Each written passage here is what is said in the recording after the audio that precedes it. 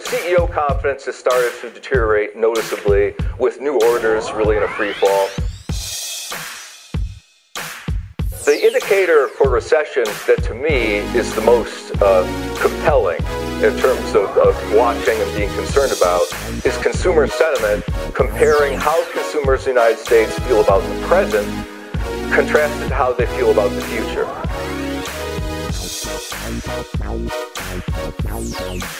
First, consumers start to feel bad about the future. They say the future looks worse than how I feel about the present. And that started quite a while ago now. Consumers' view of the present is starting to deteriorate pretty rapidly, and the view of the future continues to be pretty grim. And this is really a very common sign of the consumer maybe being poised to pull back.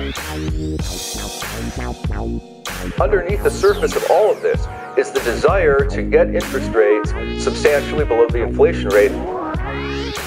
It is a way of slowing down the debt compounding problem.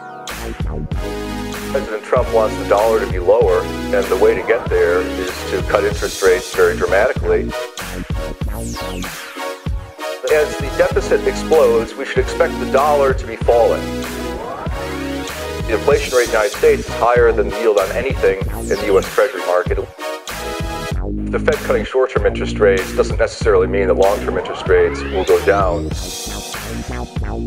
And also, historically, quantitative easing has actually been uh, correlated with rising long-term interest rates.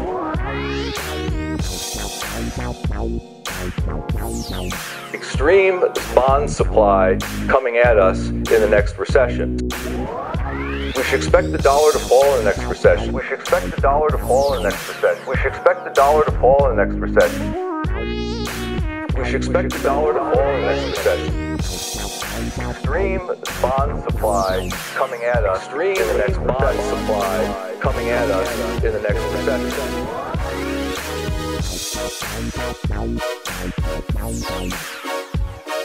Nikkei has never made it back to that level ever again. 30 years later. And then the European market completely collapsed after that, and it's never made it back. 20 years, emerging markets got decimated, and they've never made it back.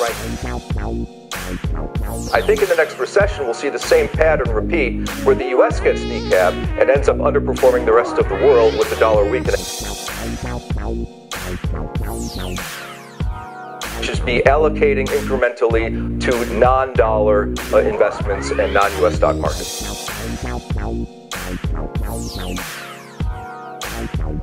We should expect the dollar to fall in the next recession. Expect the dollar to fall in the next recession. We expect the dollar to fall in the next recession.